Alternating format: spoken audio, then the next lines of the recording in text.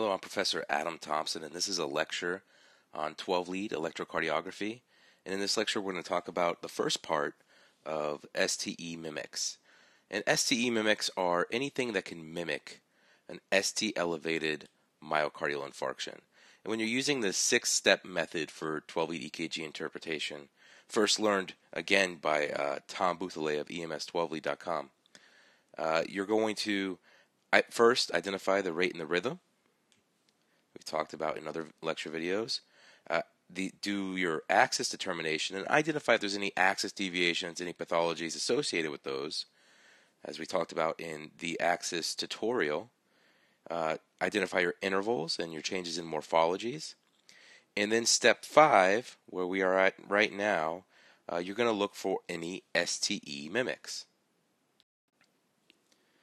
And once again, uh, you need to know what a STEMI is to understand what a STE mimic is. So a STEMI is an ST elevated myocardial infarction.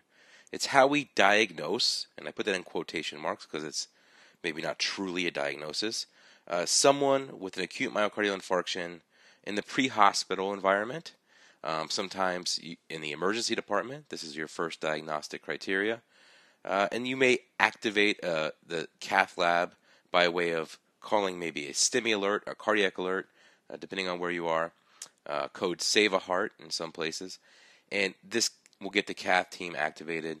Um, it will also, uh, you know, initiate the troponins and the cardiac enzyme tests, so on and so forth. So to understand what an ST elevated myocardial infarction is, you need to know what uh, ST elevation is. And when we say ST, we're talking about the ST segment. And whenever you hear the word segment, uh, as it pertains to electrocardiography, we're talking about something that should be pretty flat, right? It doesn't include waves. So the PR segment is from the end of the P wave to the beginning of the QRS complex and does not include either the P wave or the QRS complex. It's a, it's a straight segment. And the ST segment is from the end of the QRS complex to the beginning of the T wave. And truly, you have a J point right here. And that's the area that we're looking right after the J point is where we're looking for ST segment elevation. And ST segment elevation is simply anything that is above the isoelectric line or the baseline. So now that you know what a STEMI is, an STE mimic is any cause of ST elevation or an acute myocardial infarction like pattern that is not associated with an actual myocardial infarction. So there are things that can cause changes on a 12 lead EKG that may look like an acute myocardial infarction, but are in fact not. It doesn't mean that those changes are not pathological, and it doesn't mean that those changes are not lethal. However, they are not associated with occlusion of the coronary artery. The most common cause of ST elevation is not an MI. I'll say that again. The most common cause of ST elevation is not a myocardial infarction. And why is that important to remember? Well, in the pre hospital environment, it's important to remember because we don't want to create that provider fatigue uh, uh, or sense of complacency by calling STEMI alert uh, frequently when it's not a true STEMI. You want those providers on that cath team and in the emergency department to know when you call STEMI alert that there's a great chance that this patient is experiencing an acute myocardial infarction. In fact, you want it to be that it's it's a very close to you know certain chance because you can get close to certainty in your diagnostic skills when it comes to 12 uh, EKG interpretation. You will get out of it as much as you put in. You have to uh, you know, truly become an expert in this craft of EKG interpretation to have a you know comprehensive appreciation for everything you can do with it. Less than 50% of STEMI alerts called by paramedics are actually ACS patients, and that's kind of uh, you know a generalized statement, and uh, it's hard to prove that that's true, but that's based on a single study that they did uh, over a large number of providers in a, in a few different EMS agencies. So when you're trying to identify ST segment elevation, you need to have a baseline. which is the isoelectric line, right? And a common mistake that providers make is they'll use the PR segment as their baseline to compare the J point to. The problem with that is the PR segment is often not on the isoelectric line. In fact, frequently the PR segment will be depressed, which will cause a pseudo, uh, if you will, ST elevation. So, what I prescribe is to use the TP segment from the end of the T wave to the beginning of the P wave. If the rate is not f- too fast, you should be able to identify this TP segment. That should be what you use as your isoelectric line, and then compare the J point to that. So if you're able to draw a straight line from the preceding J point and it matches up, then there's no ST elevation. Um, if you if you draw a straight line and obviously the ST segment or the J point is elevated above that, uh, above the TP segment, then you do in fact have ST elevation. And these arrows here off to the right are simply pointing to where the J point is. And the J point is the change of direction from the QRS complex into the ST segment. And often you're looking for just after that, maybe one small box after that J point. That's the area you're looking at. Because I've kind of exaggerated here uh, the length of the ST segment, where often it's not that obvious where the ST segment is. It becomes more diffuse. So if you can identify where the J point is, especially if you can identify the J point in the QRS complex above or below the lead that you're looking at, then you can draw a straight line and it should be in the same place uh, on all three leads, above and below, right? Um, so if you're able to identify where the J point is, then then right after that J point is actually the area we're looking for to be see if it's uh, elevated or depressed. There's different morphologies in S, of ST elevation, and it's not always you know, a flat line like I was just showing you before. Sometimes you have a more concave or convex presentation. And concave is if you take, you know, draw a straight line with a pencil from the J point to the top of the T wave, and the ST segment is below that, that would be a concave ST elevation. Okay? If you're not able to, so if it's, you know, flat, like it is over here, it's more convex, flatter convex. That's pretty bad. Okay, so concave, all of your ST EE mimics, okay, um, and all of your benign forms of ST elevation are concave, and that means it's usually not bad. However, some myocardial infarctions will present with concave ST elevation, so that's why you have to use the word usually because it's not always. But whenever you see a flat or convex like ST elevation, this convex sometimes is called tombstones because you can literally write RIP there. Okay, and draw some grass, and that's your tombstone. Um, now, that's a little bit morbid, but that's how people remember it. Uh, that type of ST, ST elevation is is always pathological and more pathognomic of a myocardial infarction. As I said before, there are several different causes of ST elevation, most of which are not a myocardial infarction. Um, so this mnemonic is helps a lot of people to memorize the different causes of ST elevation. So it spells out the word elevation, of course, so that kind of fits. Here, I'll use a different color, elevation. It fits the, the topic, of course. And E stands for electrolytes, so hyperkalemia can certainly cause ST elevation.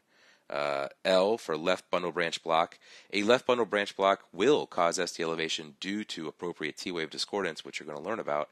Um, and it's why it was commonly taught for years that you would not try to identify a STEMI in the presence of a left bundle branch block.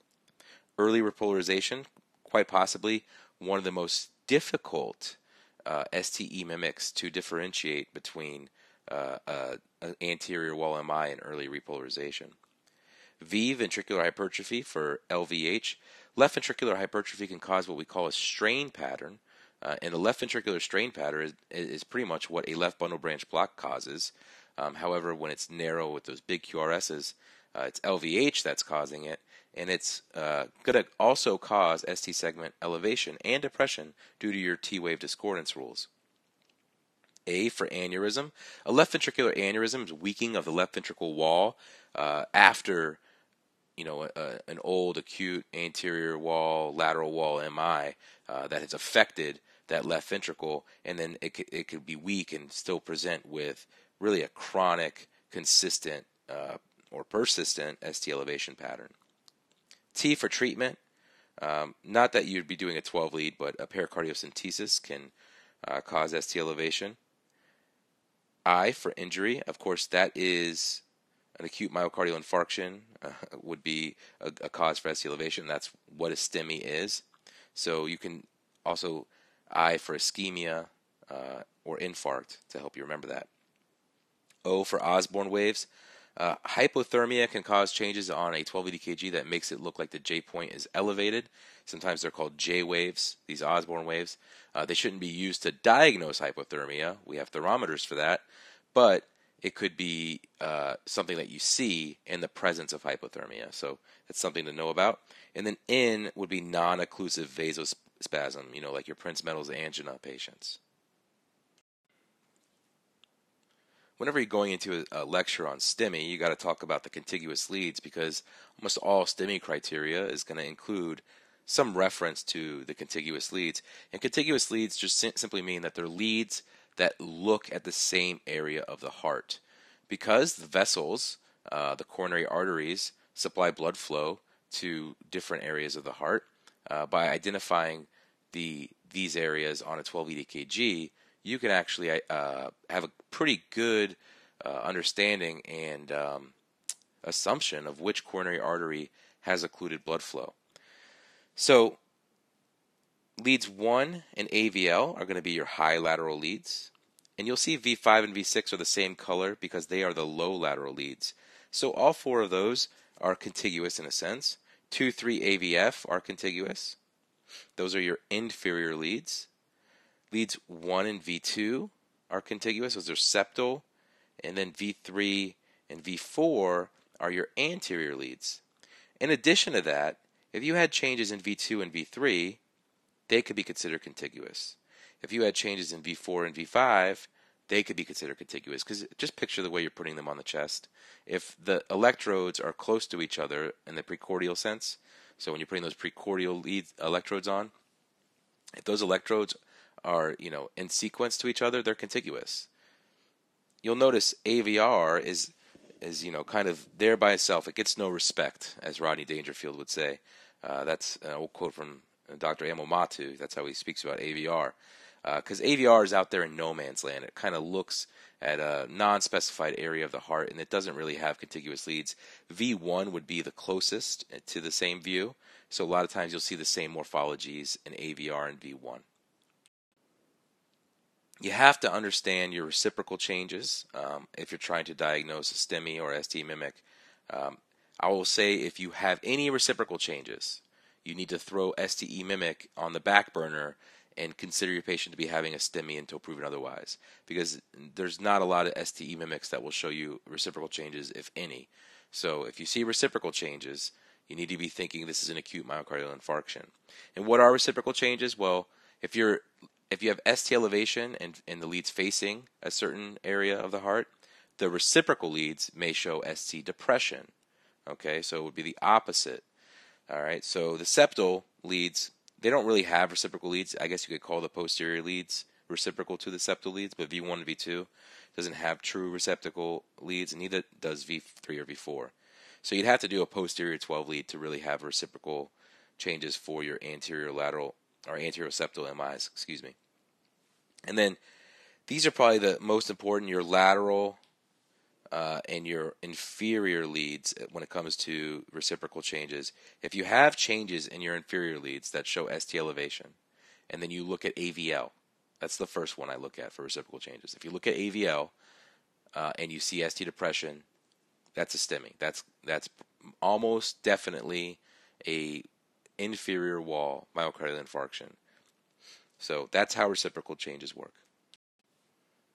Often you'll have a posterior wall MI, and we say V7, V8, and V9 are facing, and you don't have those on your traditional 12 EKG. But the first thing you'll see is reciprocal changes. You'll see ST depression, and maybe a tall R wave, which is a reciprocal Q wave, uh, maybe an inverted T wave, which is maybe a hyperacute T wave on the other side.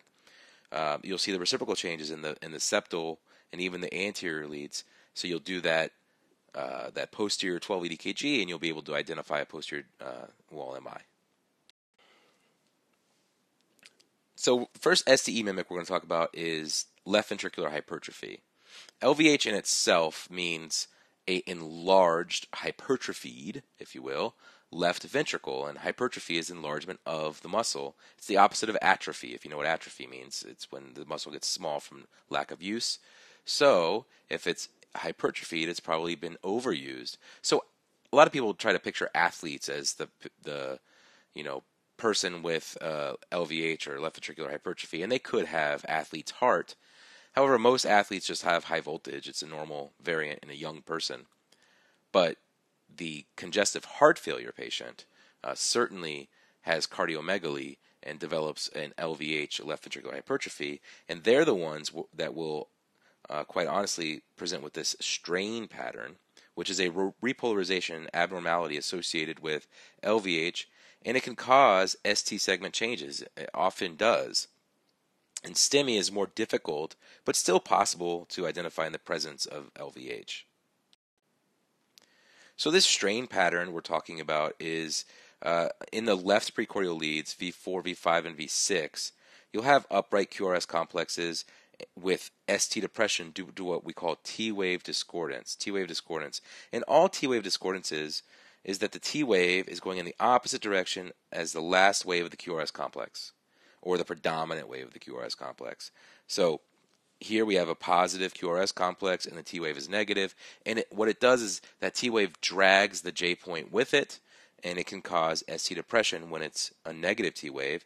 And over here in the right precordial leads, you'll have the opposite thing going on where you'll have a very deep QS wave or deep QRS and then a positive T wave, which drags up this J point, causing ST elevation in the right precordial leads.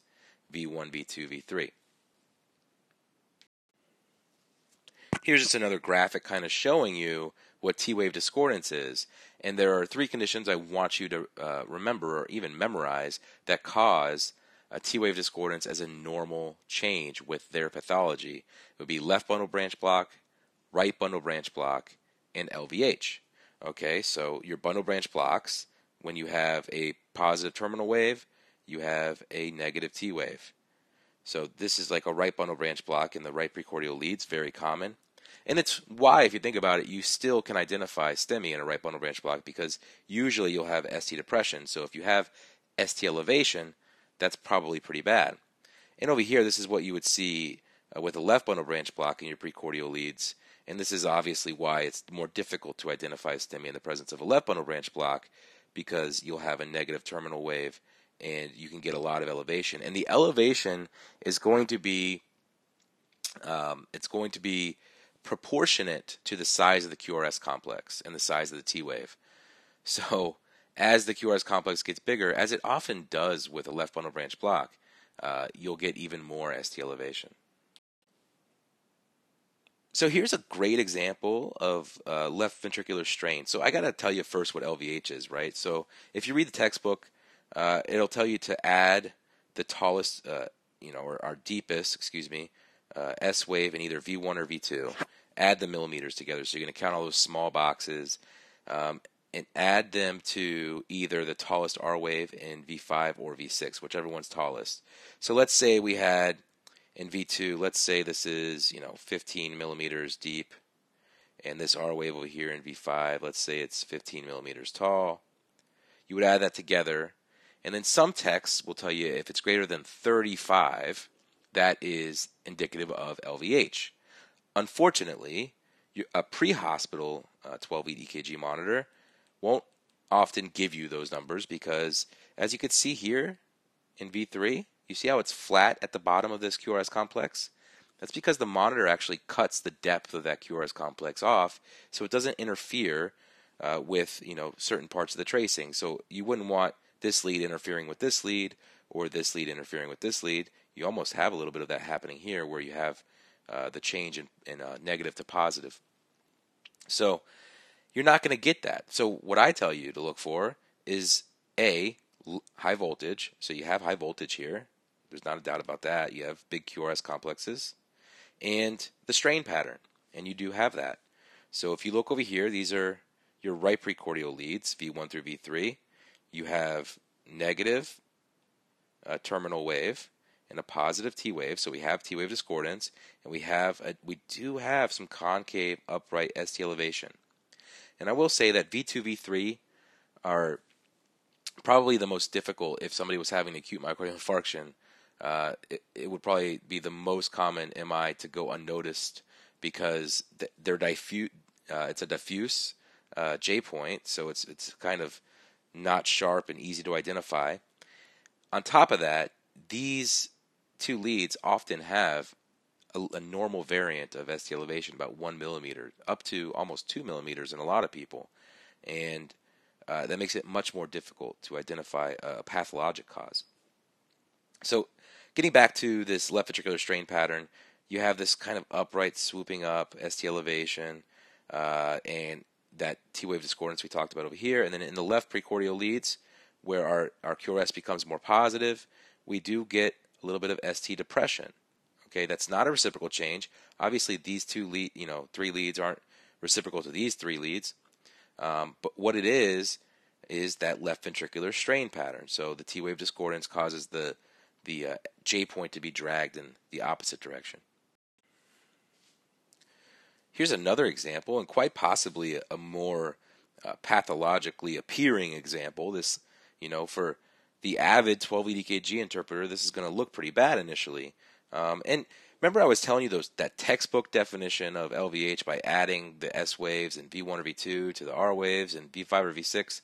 Well, there's uh, there's even more definitions that involve the limb leads, and this would certainly meet the criteria within those uh, definitions. But I see the strain pattern uh, in addition to seeing high voltage, so I know I'm probably dealing with LVH that uh, in a strain pattern. So this strain pattern again, it gives me the ST elevation where I would expect it, and it gives me a little bit of a J point depression where I would expect that to exist.